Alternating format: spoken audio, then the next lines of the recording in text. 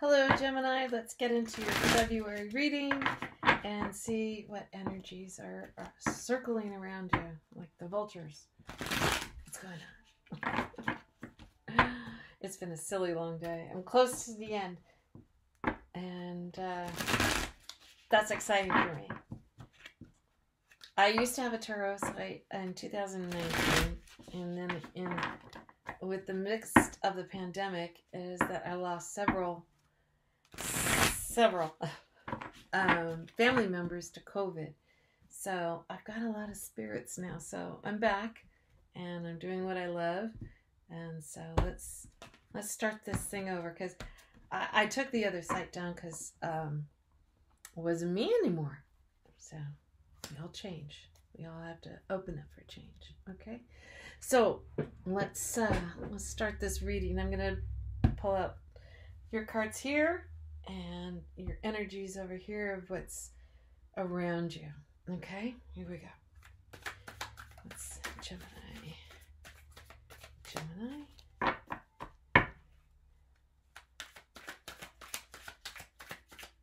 Gemini.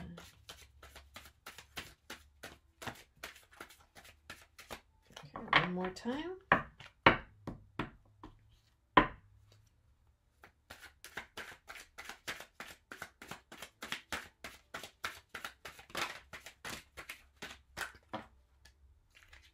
All right.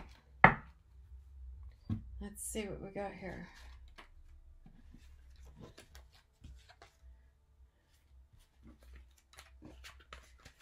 All right, let's see what we got here. Three of Wands, Two of Wands, Five of Cups. Something that um, you were looking at set you back a little bit because it was something that you couldn't reach or you felt like you couldn't reach it. Knight of Cups, Five of Pentacles reverse, Seven of Pentacles. Um, an offer was made of love. Five of Pentacles. It's like leaving something out in the cold, but no, it's not. It's bringing you back in. So maybe how can you leave something out in the cold and then bring it back in if you didn't know this person? But I think you knew this. I think you knew this. I think you knew the situation. But it left you just looking at your uh, pentacles, just looking at your money, just looking at what you have. I don't know if you're rejecting this offer yet, but you're. Um, I get. I sense a, a sense of familiarity, Gemini. Okay. Six of Pentacles, Queen of Swords, Five of Swords. Okay, so uh, equal give and take. Um, nothing but the facts. Very, very stern. Very um, and Five of Swords. Something's taken away. Okay, so yeah, you, you know this person, and there wasn't an equal uh, give and take. There was something that was not given, and they came in with a very forceful energy, and they took something away. It wasn't fair, whatever it was. It wasn't fair. What is this? This is the tower upside down. So this so there was a tower moment and all the options were taken away and the fool card you became reckless and this is the Knight of Swords, and it was fast. It all happened so fast. Everything happened fast. Hmm. I'm sorry. Okay. Ten of Cups at the bottom of the deck. Huh. That's Ten of Cups, Ace of Cups, Death card, Transformation, Eight of Swords, Four Cups, Hangman. So whatever this energy was, you thought it was going to give you everything you needed, everything you wanted, but it was just stripped and taken away. Mm. Okay, let's see what the other side says. Okay, hang on, let's shuffle the deck. Gemini, and man, I've had some really deep, deep, deep readings today.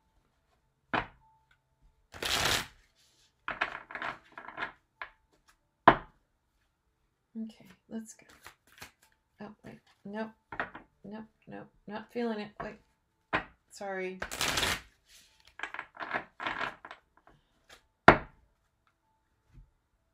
One, two, three.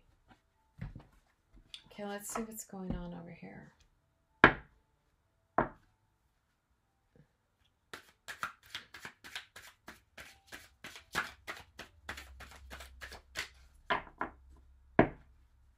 One, two.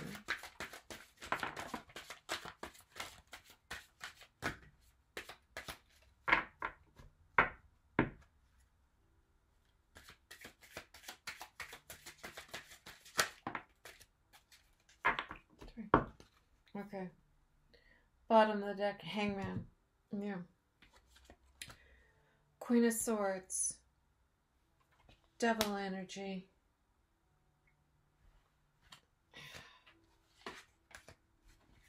Okay, Queen of Swords, Nine of Wands, Four of Pentacles, Nine of Cups, Three Swords, Eight of Wands, Nine of Swords reversed, Ten of Swords, High Priestess. Wow.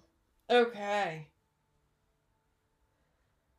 A Gemini.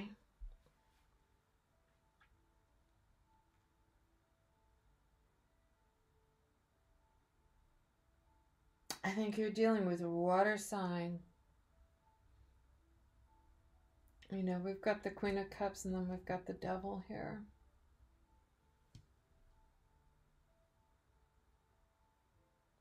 Scorpio, Cancer.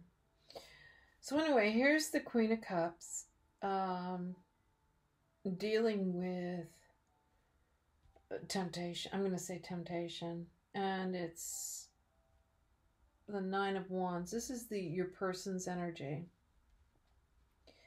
i'm feeling that they they were a water sign and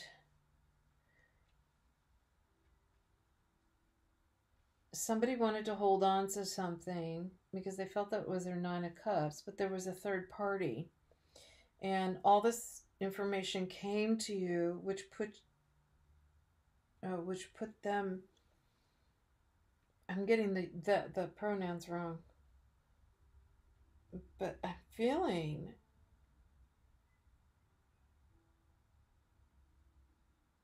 oh but now you're in high priestess energy i'm feeling that this person came in and had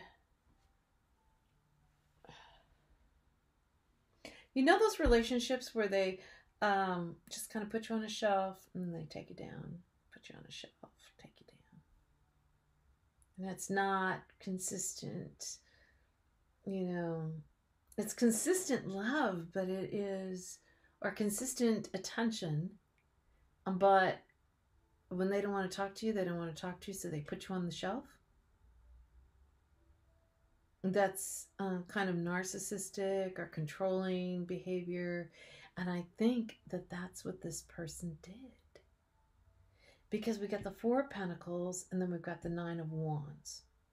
Now, Four Pentacles is holding on to something, Nine of Wands is trapped within yourself. So I'm thinking that this person had very controlling issues. And because we also have the double energy here. Now we've got the Nine of Cups, which is kind of like a wish fulfillment. One more would be like the Ten of Cups. And did we have the Ten of Cups up here? No, we didn't. But it'd be like kind of a narcissistic kind of love. Because then we've got the Three of Swords here. You know, so you're kind of trapped in this, you know, these two worlds of like your freedom and the freedom that you're allowed within your head because you want to please this person.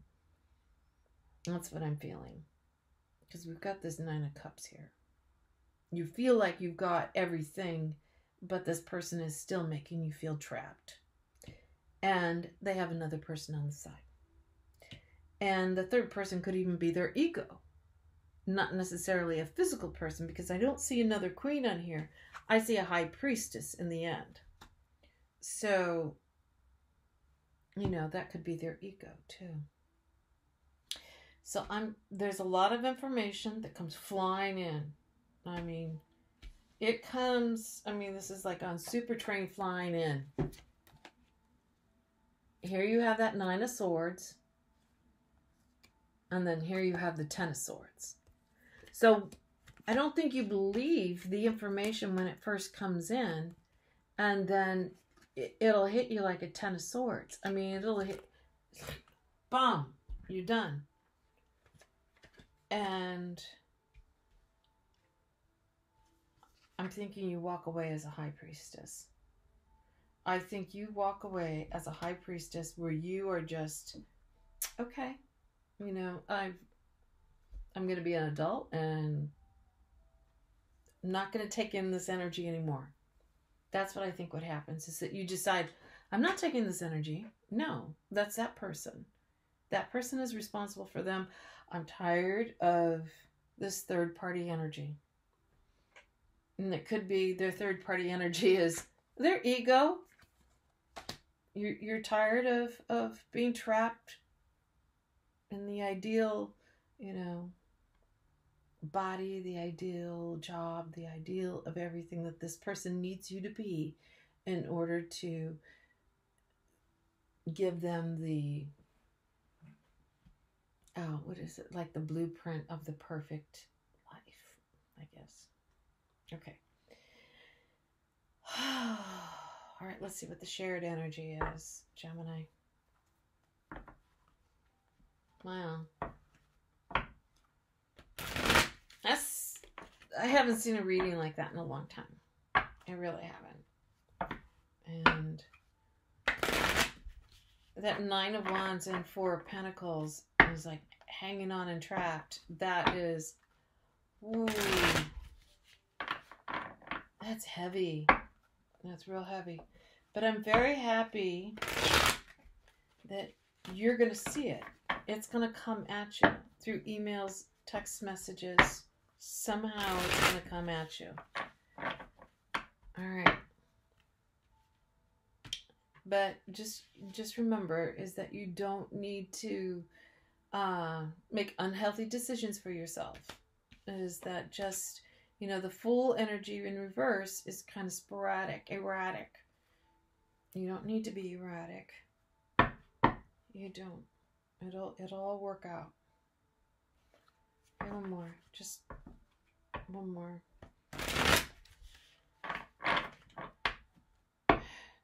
Yeah. Okay. Alright, let's see what these shared energies are. I hope you're. I hope the cards tell us something good. I, I, I'm making myself laugh. I'm sorry. One.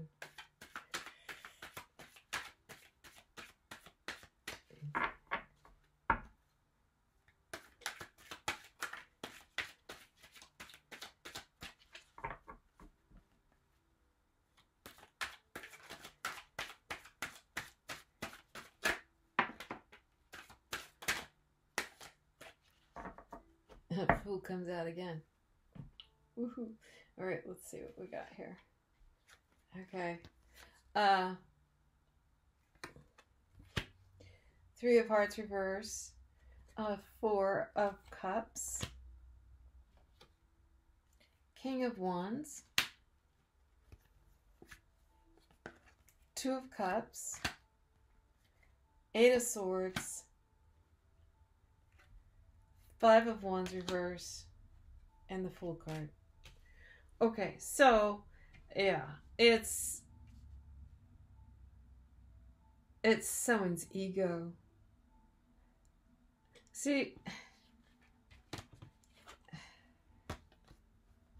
to me, when you look at this, this three of swords reverse and then this cup going towards you, it's not like the person is coming towards you.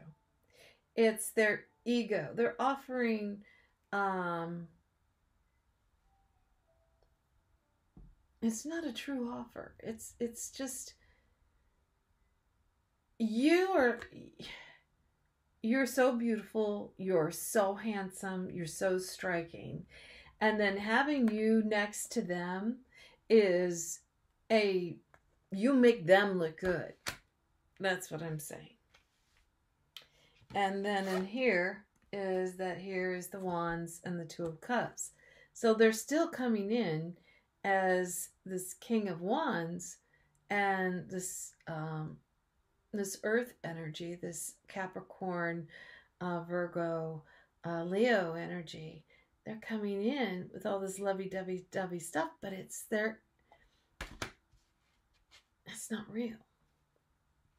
Because you see it as a trap. And you see, you know, what was fighting, not fighting, but arguing or or um, obstacles you, you're just seeing that this person is just too complicated. And you're going for non complicated Gemini, and you're going off in the fool. You're taking the fool. You were upside down, you see it clearly, and and you know this isn't good for you. This is all this is being in a relationship with someone's ego. I don't think it's a a Capricorn, Virgo. no, what is it? Capricorn, Taurus, um, Virgo. But Leo just sounds good in there too because Leo, Leo has a big ego. Yeah. Okay. I've got something good for you. Okay, so these are my literary. I just got them. My witches, my literary witches, and I love how they describe witches as manifestors, as writers, as artists. And it makes so much sense because, you know, our, our movie moguls, they describe witches as, you know, they have these evil, dark, uh, they can conjure things up. And, um, well, a writer can conjure things up, an artist can conjure things up. And anyway, that's my new love. I love these cards. Anyway, I did shuffle these cards earlier. I don't want to bend them too much, so I'm just to do this because I, I really want to protect these cards. These cards are just so beautiful, and you'll see why. Okay, so here we go. What I have for you. Oh, of course, this is called rebellion. Uh, I don't know.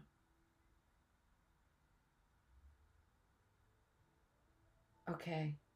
Farrokhzad? Rebellion. I, I cannot pronounce her last name, but I want to read what this woman is famous for. Farrokhzad. It's, uh,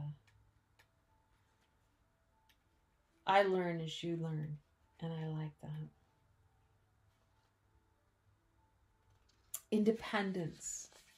She represents independence, barriers, isolation. Faroe Farrokhzad, 1935 to 1967, wrote sensual nature na- wrote sensual nature-rich poetry, placing her among Iran's greatest poets. Heavily criticized for resisting societal norms, Farrokhzad divorced at 21 years old and was the first Persian poet to write explicitly about sexuality. Oh my gosh. She was Persian. Working as a documentary filmmaker, check out the awards, winning the House is Black, and adopted a son from a leper colony. Some believe that she is prophesied for her accidental early death in a car crash in the poem. Let us believe in the beginning of the cold season. Wow.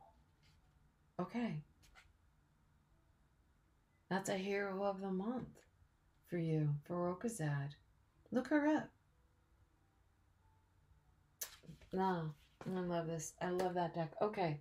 So my other favorite thing I know I'm taking too long. You're already at 20 minutes and I'm just chatty chatty Kathy.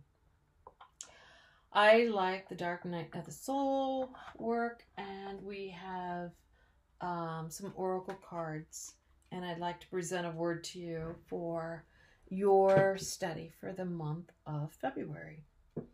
It's called codependence.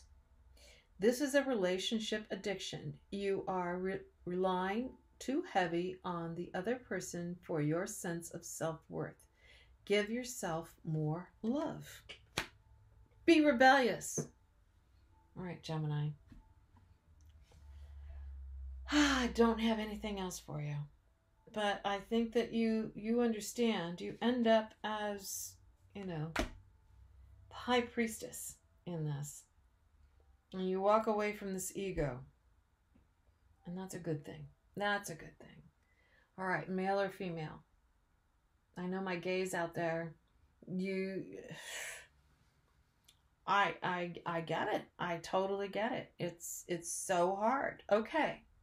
Love you all. Take care. Cheers.